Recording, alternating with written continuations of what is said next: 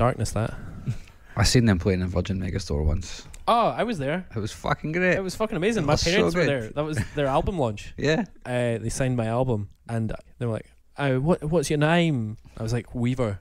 Like, Weaver, like one who weaves. I was like, "Yeah." It's like, "Oh man, that's a great name." It's like, "Dan, Dan, this guy's name Weaver." Like, Weaver, fucking hell, that's really that's like medieval, man. Hi, you're listening to the Unsung Podcast. I am your host, Mark Fraser, and I'm joined by two of the best babysitters in the world. Uh, are we also hosts? No, You you are. I am the host. you host. are their host. I am their host. What are we? Guests? No, I just host this, the podcast, and you guys Co-hosts. co-host it with me. Oh my god! I feel so demoted. We've been r- deranked. All right, yeah. Stripes have you can always stripped introduce yourself as a host if you want. Not nothing stopping No, you. no, no, no. And this is the this is the thinking behind the getting us to be pitted against each other, divide and conquer tactic of the babysitting poll. You can't you can't do three on Facebook. So Yeah. Uh, sitting to my right is Mr. Chris Cusack, Glasgow's leading feminist. oh yeah, I've heard that. I'm blushing. You can't see that, but I'm blushing, and it is natural blush as well. natural blush. I sit to my left is David Weaver, a man with an exceptional mind uh, and exceptional manners, who I watched earlier on drop some guacamole right down his shirt. and You could mustard. never tell. American mustard right down my Sook pink it right t-shirt. out. Uh, But that's pink. You Yeah, and- kind of yeah. and, and he's good. stuck with that shirt because he doesn't have some outer clothing. So Yeah, it's the whole world's going to know. I had a hot dog. Vegan with hot dog. Much relish.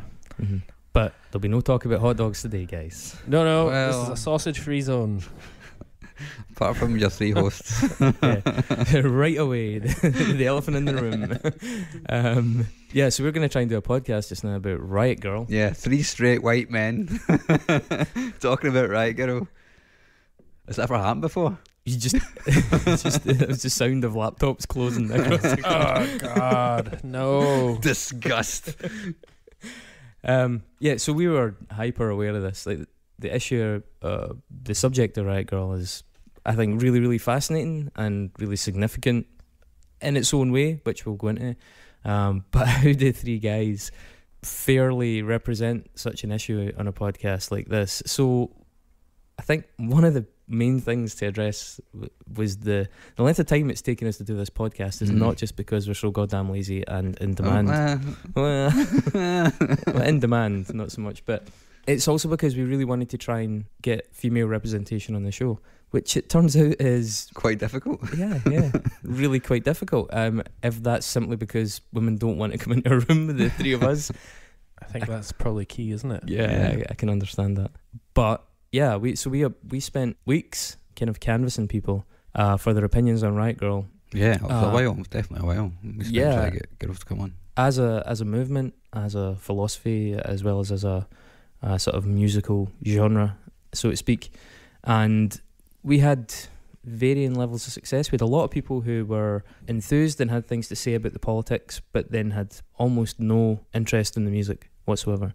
Conversely, we had a few people, especially there seems to be a new generation of young women who are really um, enthused by the music itself and the empowerment. You know, just pick up something and play it that kind of aspect of Riot Girl, the quite accessible DIY nature of it. But then we're, I, th- I think for me especially, surprisingly alienated by some of the politics of it.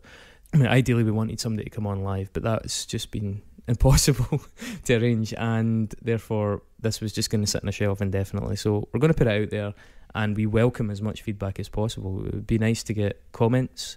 It'd also be nice to get For- some vlog content, something like that. Um, so we can get a plurality of opinion and perspectives. So that, that would be really good. But as it is, we've arranged, uh, we- we've, we've carried out a couple of interviews, which we'll segue into later on in this, with two women with very informed and differing points of view on the subject, um, which were very, very illuminating in their own way, I think. I would like to say before we continue that if, if there are women out there who listen to this and decide that they actually do want to come on, then ju- do just like send us a message. We can sort something out. It doesn't need to be in person. We can do it via Skype as well. Although, as Chris said, getting women to come on was impossible. Not just because to try and get them to come on in person was really difficult, but also because we couldn't really find anybody that would talk about it at all Yeah. with us.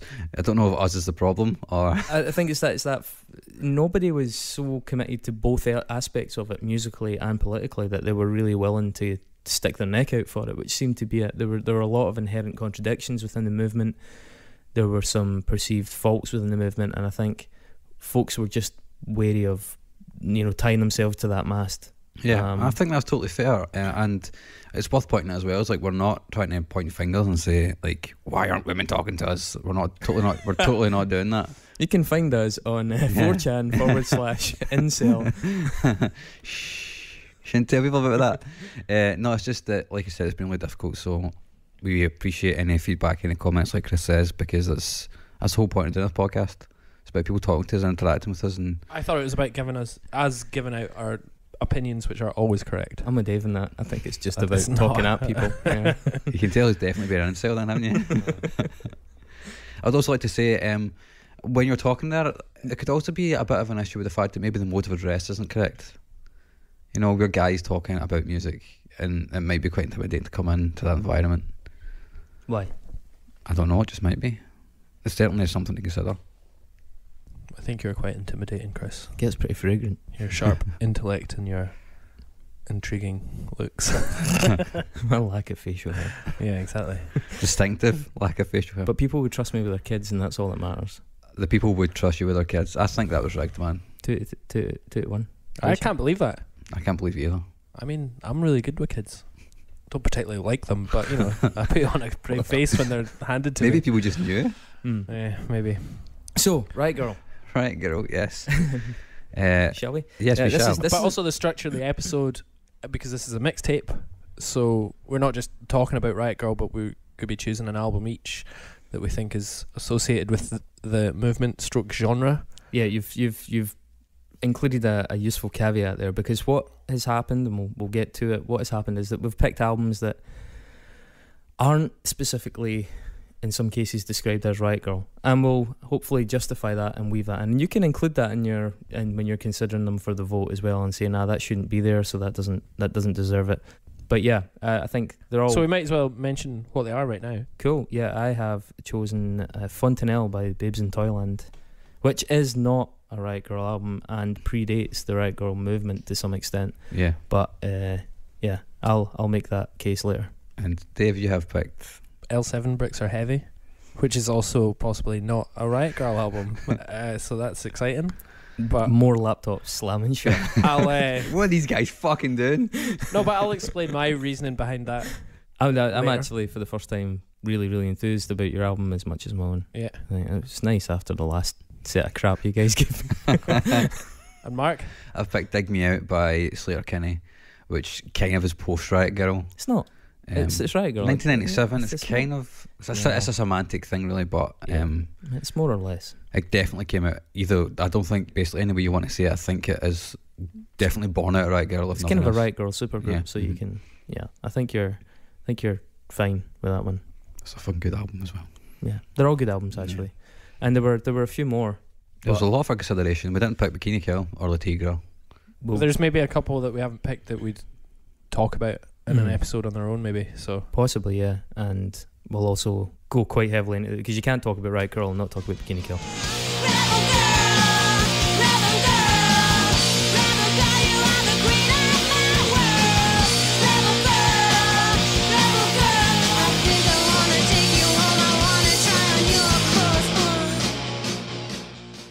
So what is Riot Girl? Just to cover the bases here, Riot Girl was a largely DIY kind of punk rock, alternative rock movement that began in uh, the northwest of America, between like Portland, Olympia, Seattle, those kind of areas.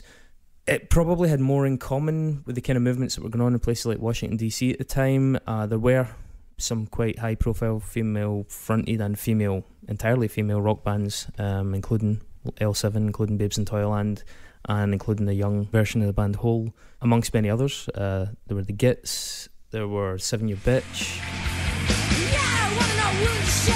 Not surprised that I should dare.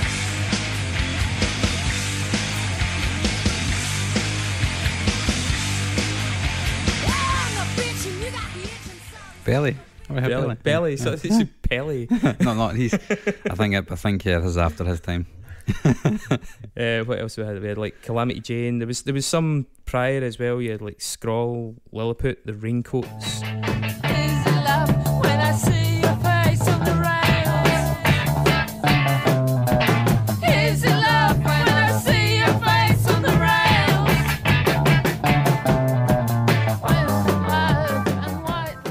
Obviously, going back, you had the Slits, you had Siouxsie Sioux, you had people in New York like Lydia Lunch.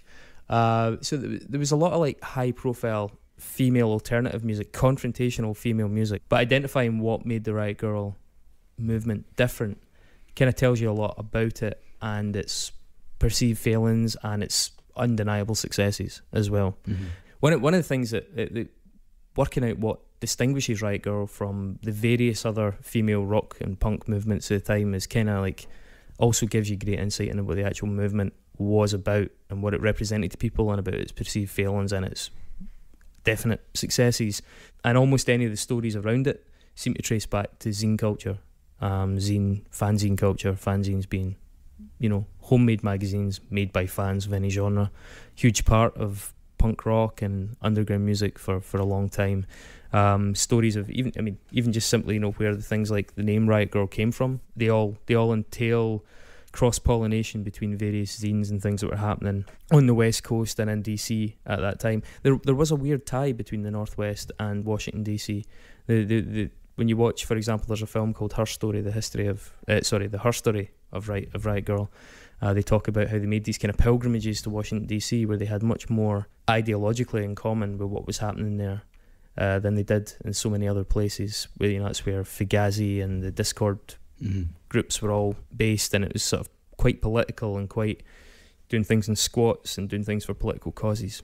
Uh, but up up in uh, the west coast at the time, there was a, a fanzine called Jigsaw, which was started by Tobi Vail, uh, also uh, one of the members of Bikini Kill, and a, a, I believe the ex girlfriend of Kurt Cobain, and she was one of the first people to popularize popularize that girl G R R R L term. There was also a girl called Jen Smith, who of a band called Bratmobile, and a girl called Allison Wolfe who had been corresponding in letters, and they'd uh, supposedly described this need for a girl riot, saying there has to be something to try and widen the demand for equal representation for women. I believe Allison Wolfe, Molly Neumann of Bratmobile are kind of credited, having kind of combined these various terms and this various kind of conversation that was going on at the time into Riot Girl, the phrase itself, and starting a fanzine by the same name, uh, which Tobi Vail and Kathleen Hanna wrote for. There's kind of various accounts of that. I think some people think that you know Kathleen Hanna helped start it. I think Kathleen Hanna herself says that they started it, and she was just a writer initially, which is not to play down her role at all, but just it's kind of you know it's useful, especially as we're going to discuss, to sort of fairly apportion credit for the various things that happened at that time. Yeah, so, that zine went on to lend its name to the movement itself. I think it's probably fair to put jump on at this point just to emphasise the fact that I suppose Kathleen Hanna is seen as being one of the most important figures in the scene. A potted history of her endeavours can be found in the punk singer, which we have sp- kind of spoken about for this podcast. It's kind of a weird mixture of having a lot of good stuff to say, but also airbrushing some shit out. I think yeah, the punk singer is a documentary about Kathleen Hanna specifically, and I think But it's about her, you know what I mean? It's like a biography of her. yeah, so- yeah. So using it as like a history of Riot Girl is is going to be frustrating Yeah. because there's a lot that's not discussed. It's a little yeah. I find it a little bit of a a frustrating watch having read more about the background to Riot Girl because I feel it sort of uh, kind of deletes some people a little bit. Um, I, f- I felt it was a wee bit of a hagiography Mhm. to be honest. But there's some really, really useful information in it and Yeah. some really interesting primary stuff with Hanna herself. She's a Mhm. really, really fascinating person, a really, really brilliant front woman as well. And it's not surprising that she became such a focus, not just of the movement, but of the media that was attracted to the movement. I think with the term Riot Girl, I think as with the grunge terminology, whenever there is something happening, it's not necessarily that the, the movement itself brands it. It's that the brand arises from the public's reaction to that movement and from its need to be able to refer to it in some way, to define it in some way, to categorize it and to, to other it, whether negatively or positively.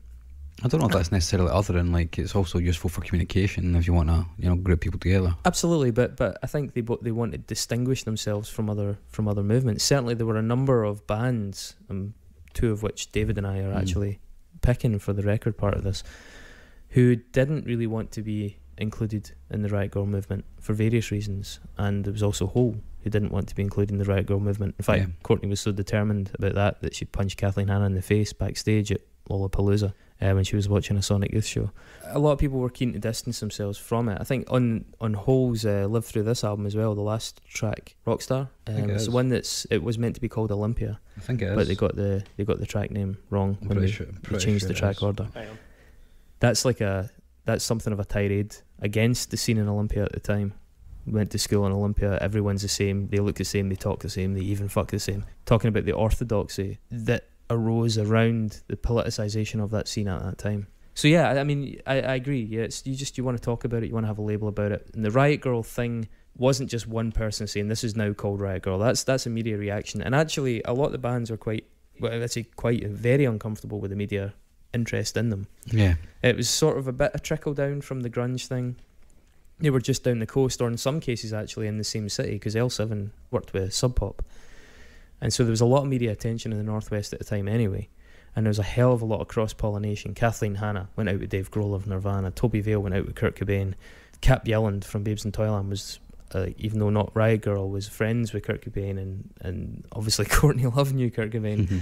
and and then so many other members of that scene were familiar with each other that it was inevitable that the media would spill over. But some of the early experiences of the Riot Girls with the media were quite adverse, I believe. Kathleen Hanna in particular, they, I mean, they ended up doing something like a five-year media blackout Yeah. um, because the media latched onto this story that she was abused as a child and that's why she was a feminist. And that was the angle that she took exception to, that she was Yeah. Yeah. yeah, she was like, I'm not a feminist because I was abused. And certainly some of the reports of the abuse, she was, you know, trying to point out at length that her, her father hadn't raped her. The, the story seemed to kind of snowball and was kind of Chinese whispers. So there's a lot of like misconceptions about that.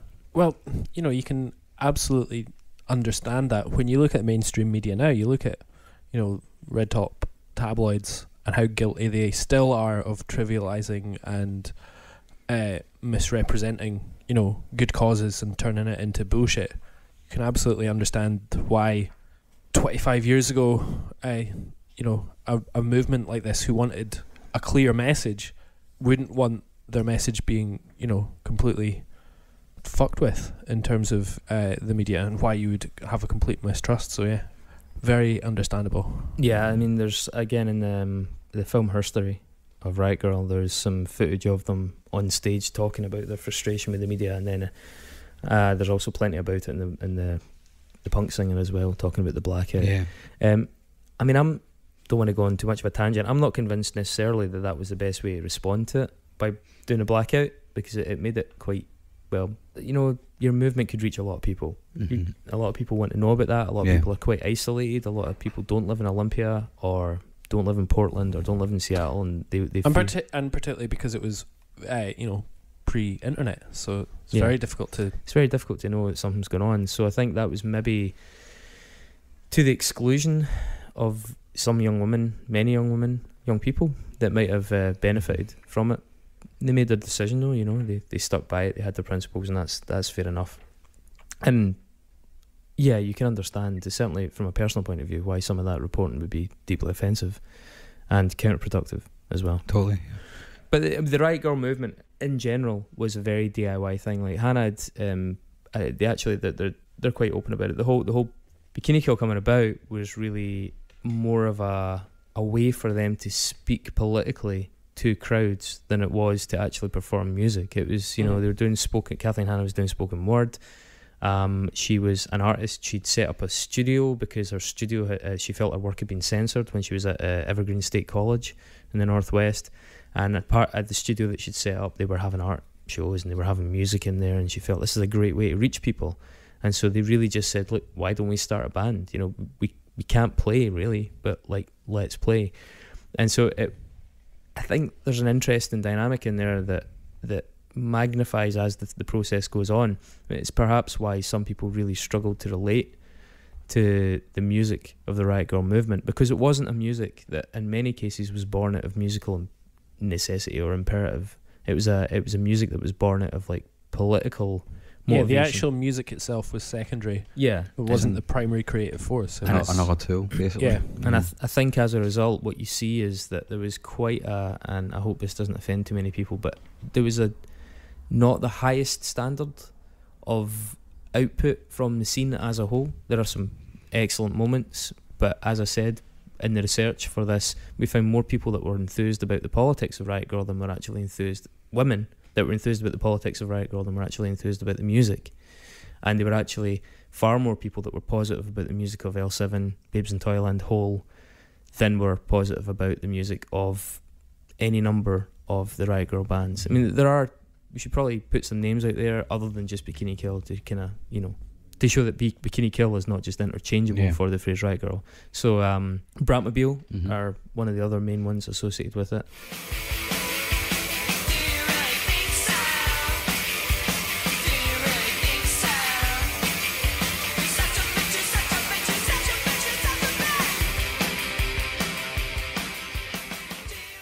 Um, Heavens to Betsy featuring Corin Tucker. Um, Excuse 17, Michaela Brownstein. yeah, Excuse 17. We also had in the UK, you had Huggy Bear, uh, like one of the main kind of UK manifestations of it. Girl, you're a star. Girl, you're my star. Make the silver mist summertime. There was a band called Skinned Teen uh, as well. And um, there were also uh, groups like Team Dresch and the Third Sex, who were probably one of the earliest manifestations of queercore as a thing. Very closely affiliated with Riot Girl, but um, obviously more coming from the, the LGBT community. I think uh, Team Dresch, all, all the band members were gay.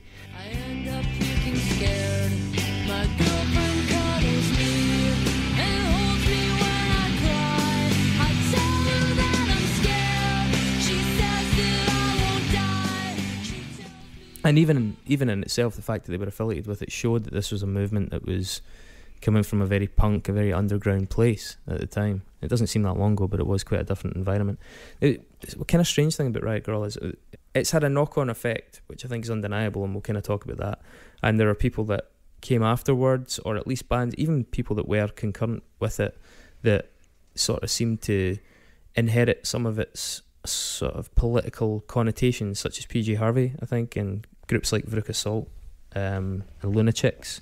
But there were also, um, and there's certainly some people since then, such as uh, Savages, uh, CSS, The gossip. The Gossip, Queen Adreena, White Lung. uh, The Donnas. hmm Gossip's an interesting one uh, because she's actually she was actually kind of on that scene at the time. What's that? Beth Ditto. Beth Ditto. Oh yeah.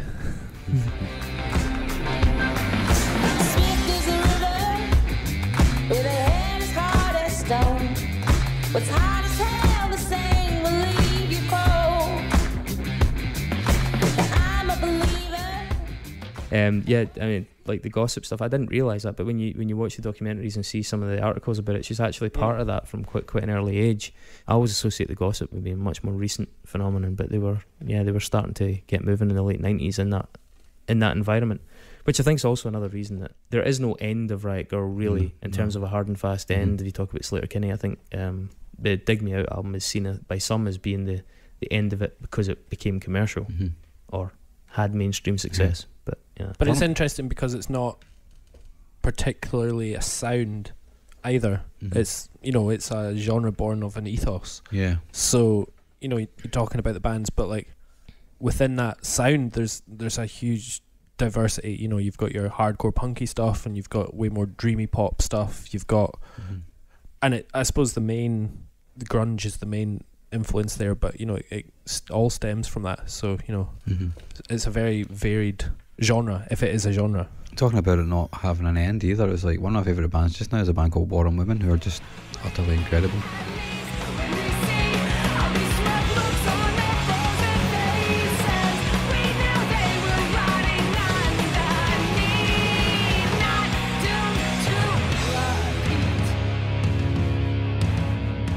They're basically the Riot Girl band, just a much more hardcore version of it. Well, I think Riot Girl is unlike some of the other ones is very bootstrapped. So the as I said, like like with Bikini Kill, it wasn't about a musical imperative or years of playing music and trying to do that. It was like, how can we get a message out? How can we be young women and make a noise? How can we command a stage and claim back some of the public forum from this undeniable monopolization that's Mhm. taken on that that's taking place at the hands of men? Yeah, War on Women were on what, Warped Tour last year, for, they were on it for that specific reason. Mm. No, because they like there was like we need to be part of this platform, even if you know, even if it's like a over the course of the well, I guess since it's existed, there's always been a lot of you know weird and dodgy stuff when this went on at the tour. I can't remember it. I think it might have been the Warped Tour. L7 once paid for a plane to fly over with a banner that said uh, "Warped Tour needs more beaver." yeah.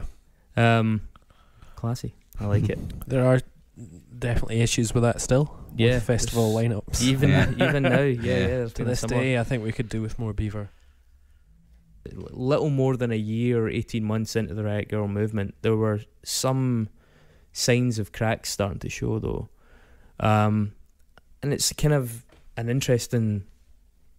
Because it's such a political movement, because it's so politically charged and so, like, so uh, indelibly entangled with social issues and, you know, zines and politics and messaging, as opposed to just being, hey, we're just kids having a good time. That was not what Riot Girl was about. There was a there was an aspect that we're just young women having a good time and being safe, and certainly that was part of it. But they, it couldn't be completely disentangled from the political concerns, and as a result, it was always quite charged. So quite early on, there started to be some issues raised um, with representation, with intersectionality, as we'd call it now one of the one of the earliest kind of figures in that zine culture was a girl called Dasha Bikceem. Da, uh, Dasha Bikceem's black, and she speaks about, uh, like I said, about twelve month, eighteen month mark, starting to become very hyper aware of the fact that she was the only only person of color that was involved on a regular basis or directly. Now she she she ran a fanzine called Gunk, which was actually the fanzine that ran the initial Riot Girl manifesto as submitted by Kathleen Hanna. That was quite an iconic moment for Riot Girl. It was like, here is what this is here is how we define ourselves, more or less. And it was a, a very empowering moment.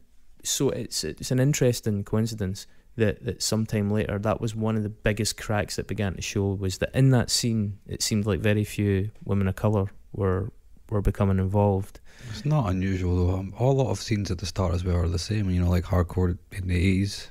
You know, punk generally. You know, there was not a lot of you know diverse representation from other cultures. I actually have I have mixed feelings about that. So I was kind of looking at some of the major criticisms of Riot Girl and the major failings of it that started to sort of fragment it, and that also led to other people wanting to distance themselves from it to some extent. And you know, in terms of exclusion, there was there was there was an issue of exclusion of non-white. There was an issue of class, saying that it was mainly middle class. There was the issue of the exclusion of men, and there was this, the issue of the marginalisation of LGBT plus. And I think there's varying levels of truth to those. And I honestly, I can I can completely empathise, not understand, but empathise with Dasha Bikceem's frustration at the lack of women of colour that were involved in that movement. At the same time, I find it unlikely that women of colour were being refused access to that movement.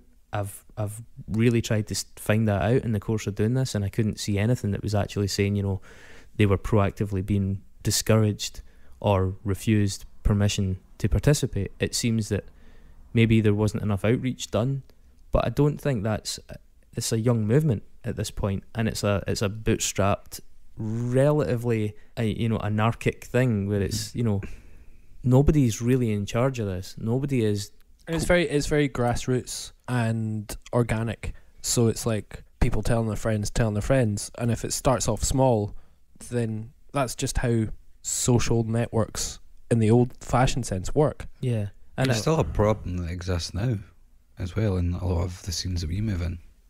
So something I think it's it's definitely not. I don't think it could ever be seen as or could ever, could ever really be, you know, uh, seriously said that it's exclusionary.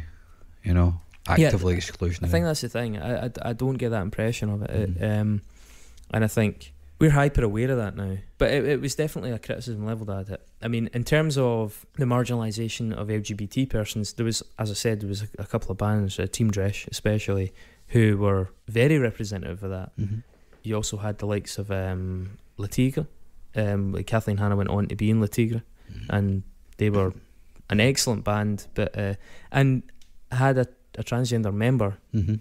but attracted considerable criticism for playing uh, a thing called the Women uh, Born Women Festival, which was a festival specifically for women born women, which even now I think it's rebranded as just the Women Fest such and such something like that, but um, it's still considered. It still raises a few eyebrows because it is so specifically saying we are disinviting people, uh, persons who identify as women who were not born women.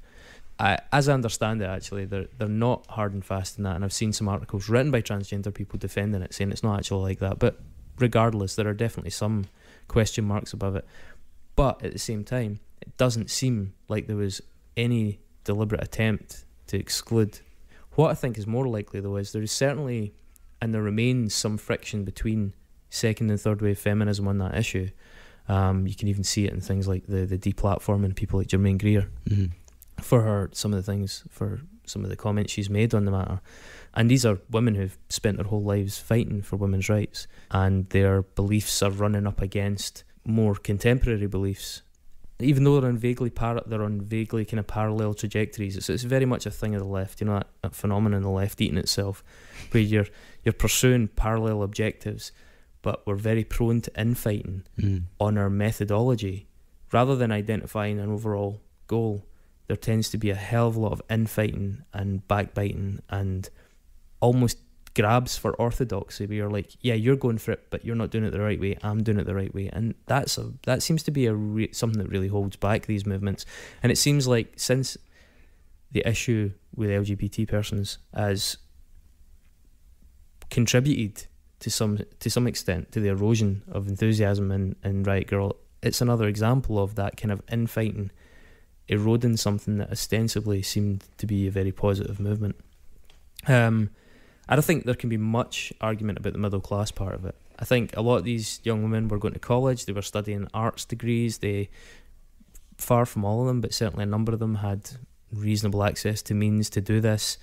They weren't under great financial pressure, they were able to invest in various aspects of printing presses, design tools, instruments. It does seem pretty likely that it was over the piece at a more middle class movement. And it kind of seems to be the case with most such things. I mean, there's a lot of like great art rock, and I think art rock tends to be the domain of persons from like middle class.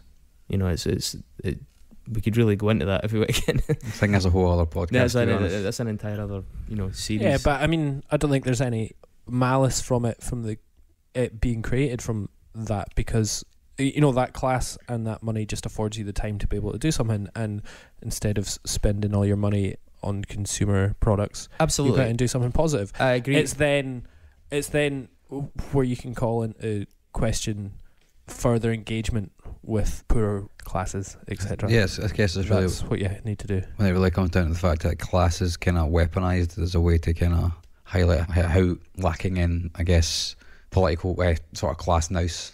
You know what I mean? Like it's Mm. kind of talking about how, like, yeah, because you're middle class and like your your experience is somehow less legitimate. I think this movement could be quite uh, class centric. It could be certainly it was a very white movement, albeit I don't think that was intentional in any way. Once you add those factors of being white and middle class, you're like, okay, a lot of people do start to maybe look at it and feel a little bit marginalized, um, albeit there's no malice there.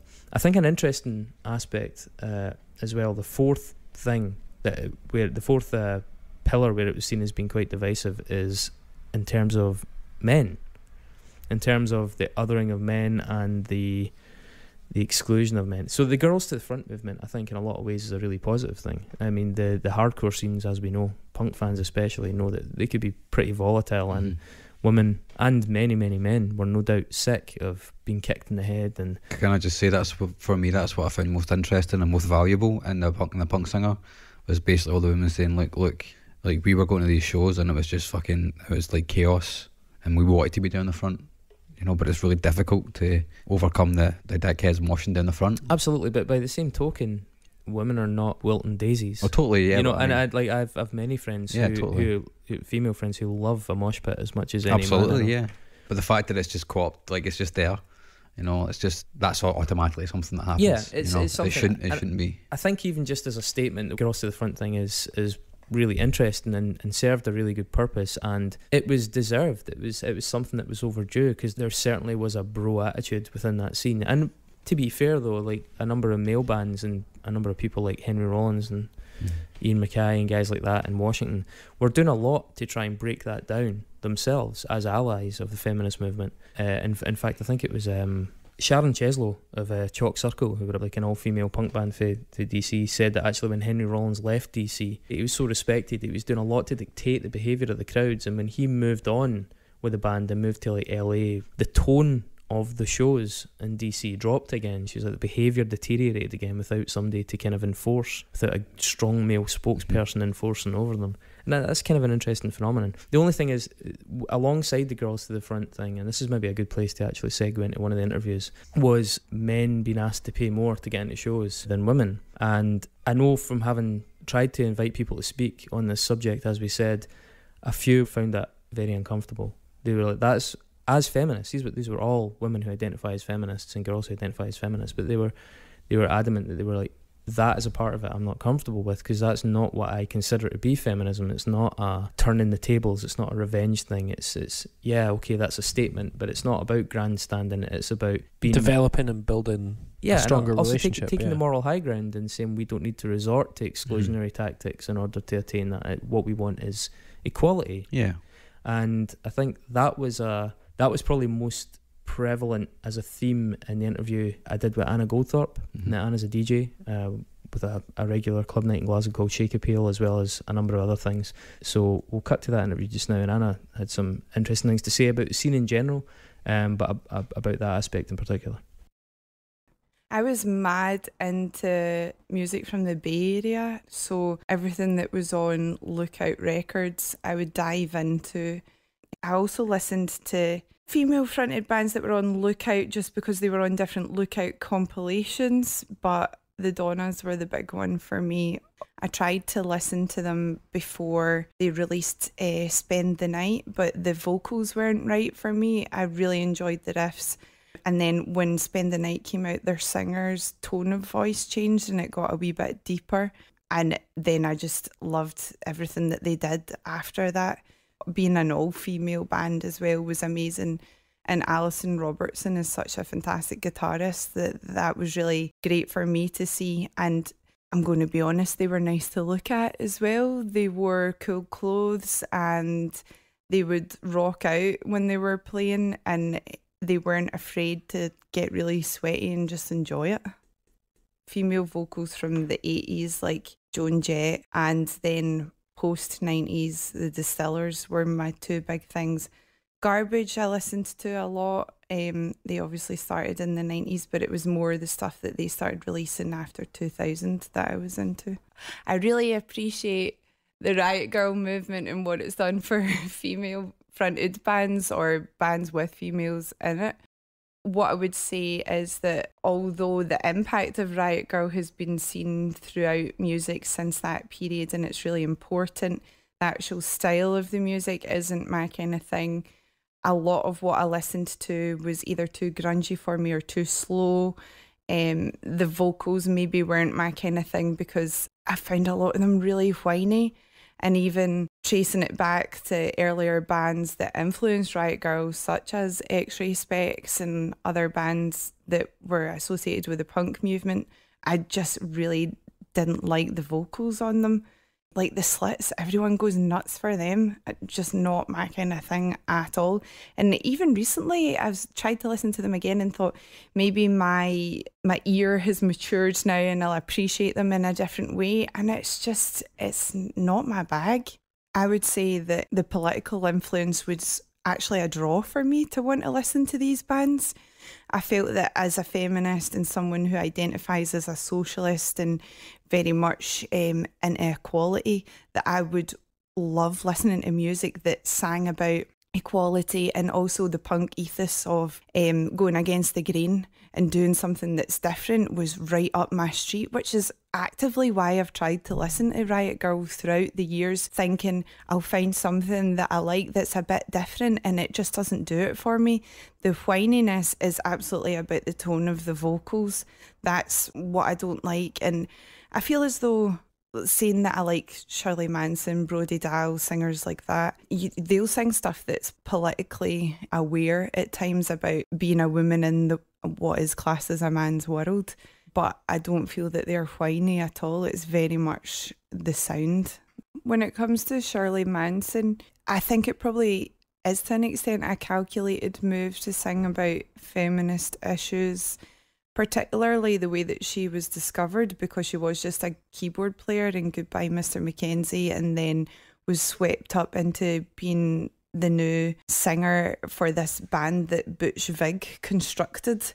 And to me, that goes against, I guess, being discovered for your talent rather than your appearance or your attitude. But she definitely has something to say that's very valid.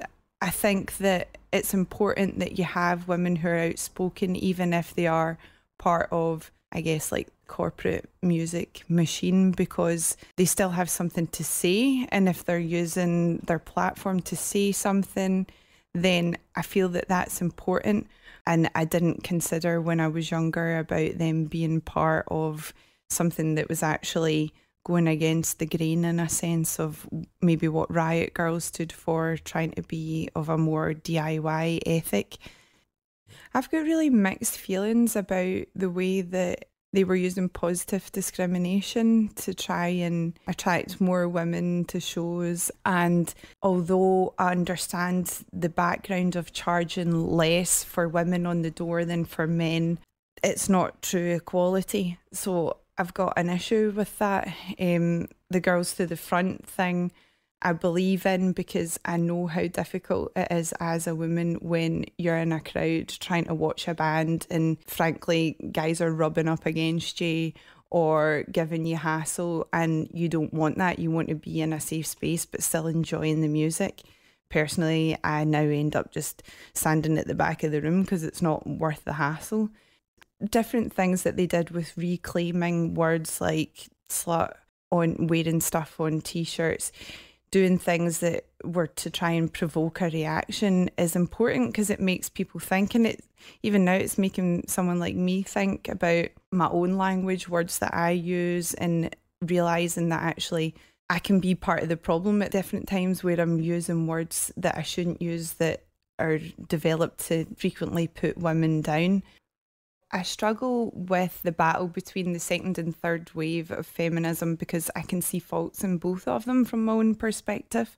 They're clashing with each other, and I think it's really important to adapt. And the likes of Kathleen Hanna praising people such as Beyonce, I find it difficult to get my head around because Beyonce is just part of what I perceive to be a problem within music. I, f- I feel as though it's great that someone can be feeling empowered in their body, but then the way that they objectify themselves really doesn't sit well with me. Um, the fact that Beyonce sang that song "Bow Down, Bitches," like putting other women down, really rubbed me up the wrong way, and I feel as though are they thinking that they're singing and behaving in a way that is making them feel empowered and making them an equal but actually they're part of the problem because they're just falling in, in, into that kind of consumerist society of what's expected of women looking sexy, behaving in a certain way, singing songs about like just utter shite. I don't know. I I don't know if you can really call them true feminists, but then you're getting into a whole thing about well, what's the scale of a feminist? It's important that everybody does their little bit, and I don't mean that everyone has to be totally hard line, but Kathleen Hanna is someone that I've never really been able to get my head around. Her whiny voice really fucking rips my knitting. I cannot stand it at all. Anyway, I watched that documentary about her because I thought, no, she's someone that ethically I think I should like. And then when I saw the documentary, I thought, actually, no, she isn't really someone who's my cup of tea. I think it's terrible what she's went through with her different undiagnosed health problems. Musically, Julie Ruin as well. That's a pile of pish. I think the legacy of Riot Girl has certainly impacted on making lots of women feel as though it's okay to be a female in a band. Like I was saying earlier about being in the crowd and stuff. I think that it's important that what they stood for has an impact on that. I'm not really sure legacy wise if the Riot Girl sound has had a huge impact. For, for me, it certainly was an aesthetic. Has the political influence of them filtered down so much now that people are going to forget the changes that happened? Or is it still there working away in the background and making an influence at gigs and even for young people? I think it's been a really good thing. I'm just not sure how much it is then impacted in a musical style sense. So, as Anna describes alongside some colourful reviews. Um, I enjoyed that. yeah, totally. Pile of pish. Being uh, for anyone out with Scotland, there you go. That's our gift to Ripping you. my knitting as well, mate. Ripping my knitting. um, a gendered term as well, Anna. Shame on you. Um, it's, it's mind blowing to me that people still feel like they can't go down the front of shows. yeah, I get that. I get that. I, but I can understand it. I can Understand. I couldn't understand mean, as I- well, but it's still mind See, to be blowing. honest, see, even like- having gone to see so many hardcore bands when I was younger, I, as a, a male, I found the macho atmosphere incredibly alienating. I still don't listen to a lot of hardcore, not because of the music, but I, because I find that the atmosphere and the, the, Mhm. the, the male approach to it really, really off putting. Some of the music's great, Mhm. but it, it really kills me that hyper uh, masculine sort of uh, like especially circle pits. I, I can completely imagine if you're a woman and you know you're on average your your body size is smaller, you're you're shorter, you're elbow high to these guys. You know you're just uh, that, must be a, a deeply unpleasant experience. It's a deeply unpleasant experience for me as a- as a Yeah. male. But I mean, as Anna raises the issue of are we going for equality or are we going for revenge? Kind of comes up a bit when people were describing the the, the you know the, the the price on the door thing. At the same time, I was I was kind of thinking about this, and I, I maybe a wee bit uh, to the left of Anna on this one in the sense that it could be a, a- maybe a slight element of satire, but there's definitely a level of commentary on the pay gap in Yeah. that. Um, I would and- probably say so as well. in, in in terms of you know the pay gap is pay gap's a thorny issue because the pay gap is often not as much as people make it out to be and the problem that creates is it's therefore easier for it to be shot down by Mhm. people who say there is no pay gap and there absolutely is a pay gap the difference is that the criteria that are used to calculate it are often quite sloppily done Mhm. and they they walk into the trap of making the, their statistics quite easy to refute when they shouldn't. They don't need to. They don't need to exaggerate the figures because the fact that there is any pay gap is inexcusable. There's no need to exaggerate it. But the whole the whole notion of paying more on the door is a is an interesting turn on that in terms of shining a light on the fact that there is a, a gender pay gap. It's like okay, we're paying this yeah, much. and I think it's a useful tool because it's not like they're saying this is what the entire system in society should be. This is what every show. It's they're just doing their bit with that show and making a, a statement about it. So if I went to a club night and it was four pound for you know females to get in and five pound for males to get in, and it said something about you know this is we're making a statement about gender, I'd be like, oh, cool, that's fine. Most of the night, I'll night, just pay that, I you don't know. know. I don't know what uh, Alness is like, man, but most of uh, most of Stirling, the just like girls in nightclubs because they're desperate for them to go. Well, in. yeah, exactly. I know. So Um, I think absolutely, but I can also appreciate some of Anna's perspective in that because I was watching some of Ian MacKaye's commentary on it as well, and Ian MacKaye was talking about the hostility he met with when he tried to sing the song "Suggestion," and the so many members of the Riot Girl movement responded to that, um, saying that he was exploiting the issue of sexual assault, that he was exploiting women's experience. Just you know, for credibility, for sales, for the reputation of his band. Ian MacKaye's response to that was pretty abrupt. He was like, "Fuck you." Hmm. Um, but he speaks interestingly of that as somebody who, I mean, Ian MacKaye recorded a Bikini Kill. Ian MacKaye is all the way through Bikini Kill's story. He's a, he's a definitely an ally of theirs. Um, they played with Fugazi at that huge Washington Yeah, protest. yeah. It was a, a famous show. But he does describe that about how even within the ranks of people who were aligned under the same banners, there were people then turning round and attacking them because he tried to sing a song about a woman's experience. He's like, well, maybe we're reaching an audience that won't hear mhm. a woman's perspective, and we want them to. And and I mean, certainly when Fugazi played them, there's recordings of them, for example, in Glasgow, where they used to bring women up on stage to tell their story of an experience. So during the suggestion, they kind of go into that kind of musical holding pattern, invite women up on stage one at a time to describe an experience they'd had of being harassed or you know abused by men or even just you know catcalled things like that. Like what is it like to be a woman? And so, I, don't think Fugazi were by any means part of the problem. So it, it, there is an element of again just fictitiousness you know interfactionality within this movement that is causing so many mixed messages and it is alienating people like Anna who are very ideologically consistent with it on a lot of parts but then certain other parts are taking aspects too Yeah. far Mhm. and I mean hey as you said that's it's the story of the left wing isn't it Mhm. I think it's really. I thought it was really interesting the way that she also picked apart the sound. I always found it that kind of. I guess the vocal that Anna would call whiny. That's a good way of saying that. mm-hmm. I, as, I, as think good as any other I guess I think that sounds bratty, and I think that's deliberate.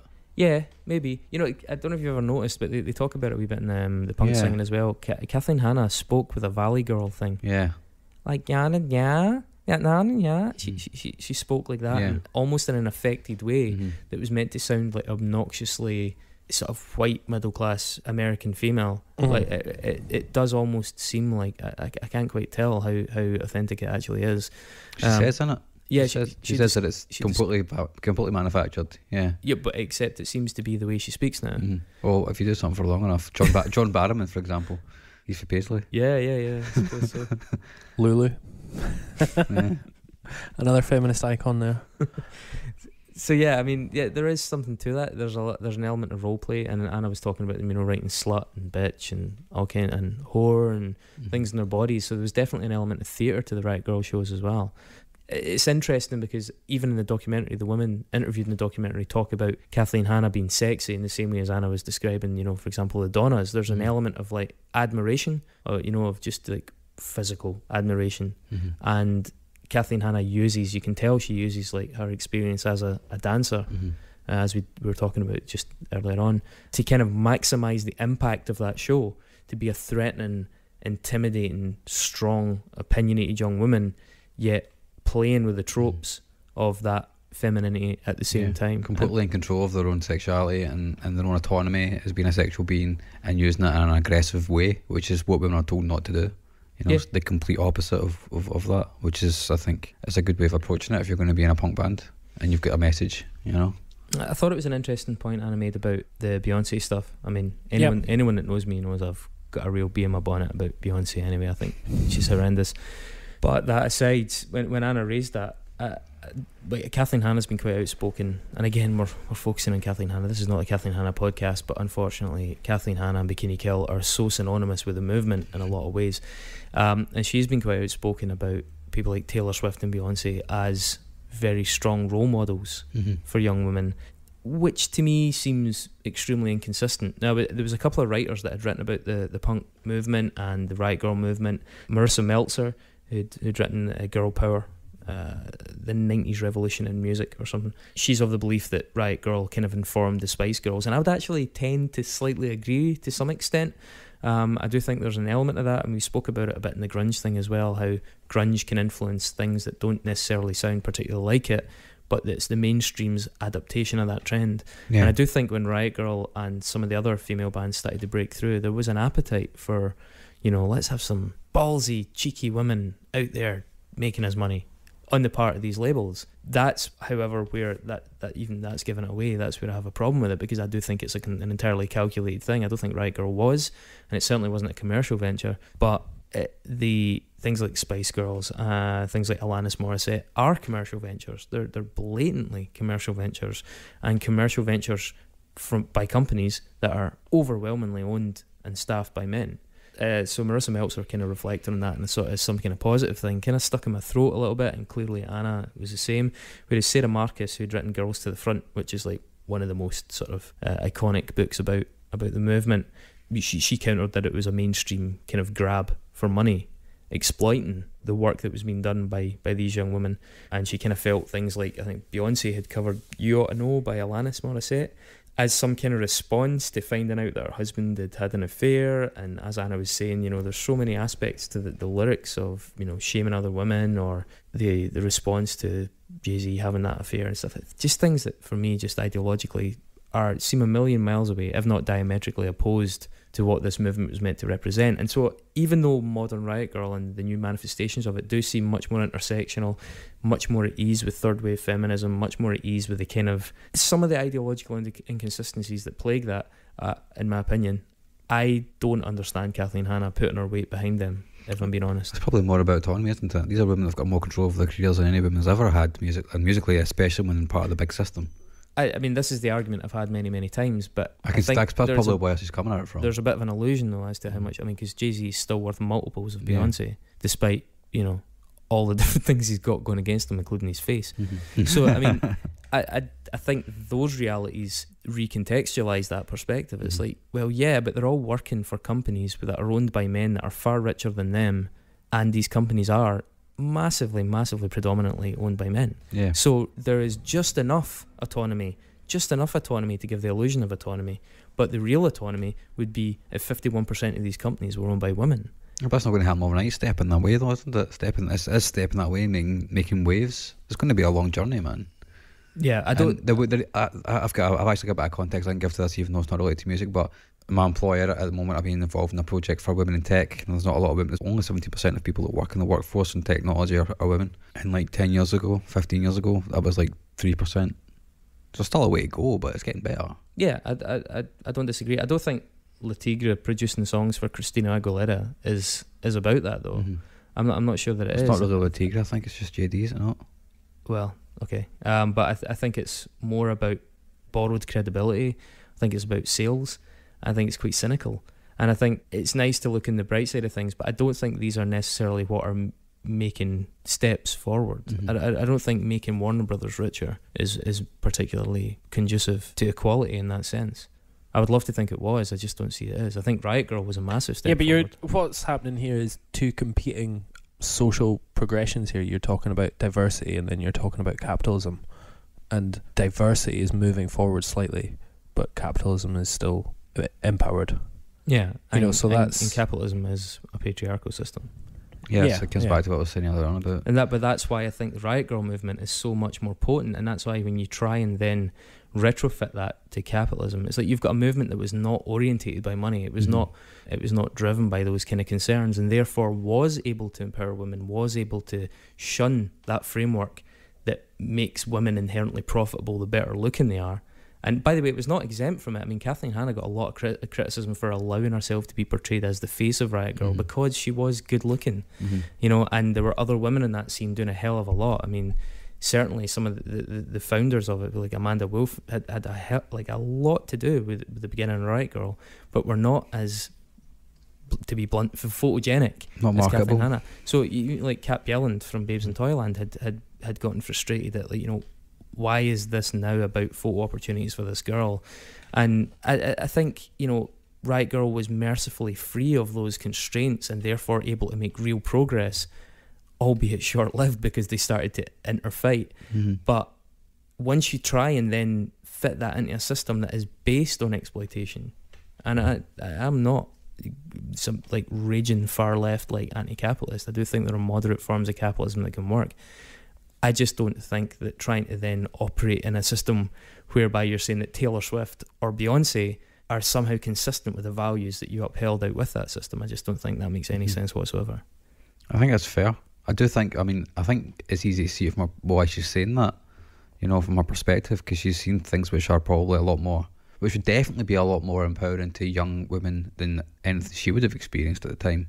You know, that was in the pop sphere and the commercial Mad- sphere. Madonna, I would say, is far more empowering than Taylor Swift. Yeah, but I mean, come on, like one person back then Not just one. in the pop sphere, Cyndi Lauper, who we all knew was completely manufactured, and Yeah, but Yeah. we've had that com- Yeah. conversation before though, where it's like, like Cyndi Lauper, Pat Benatar, Madonna, Tina Turner. Um, there were high-profile women back then as well. I Yeah, think totally. it's I think it's simply that the industry is better at selling you an idea now than Mhm. it was then. I think it was more naive then. It was So a more it was a more rudimentary industry, but now we're better at lying. do you think that she's? Do you think she's um, been kind of sucked up in the marketing of these individuals? Then I just think she's mellowed as she's gotten older. I think so. Yeah, I do. I think she's she's mellowed and she's life's taking the edge off her a little bit. Well, that's what happens, isn't it? You uh, stop reading the Guardian and you start reading the Telegraph as you get older.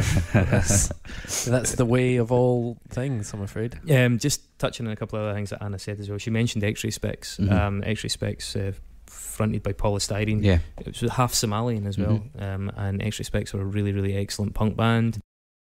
Some people think little girls should be seen and not heard, but I think, oh bondage, up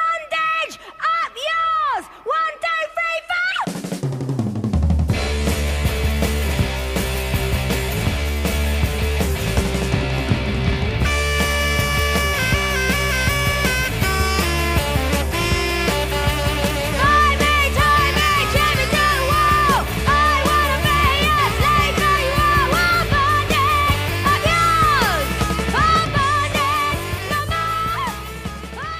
Brilliant. Uh, there's also Teenage Jesus and the Jerks, who get totally overlooked, featuring Lydia Lunch. And again, Lydia Lunch sort of is as much a performance artist and like confrontational performance performance artist at that as anything, and they were a, a highly influential band, albeit based in New York at the time.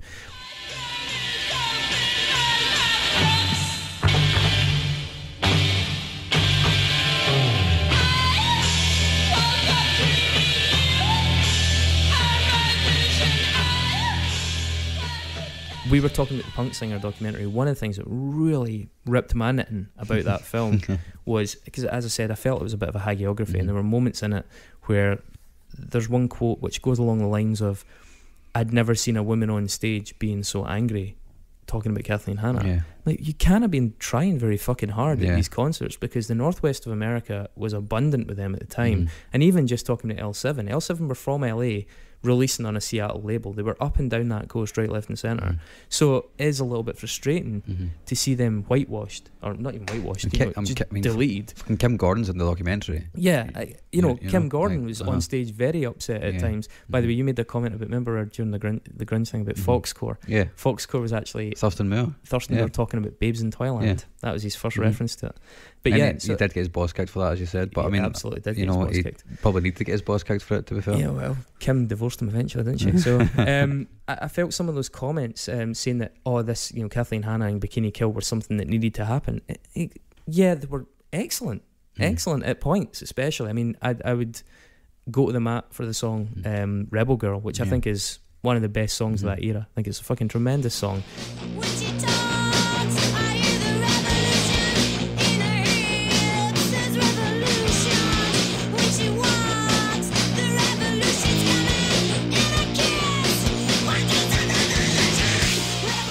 I don't think they have a great back catalogue, Yeah. but I do think they have some great moments.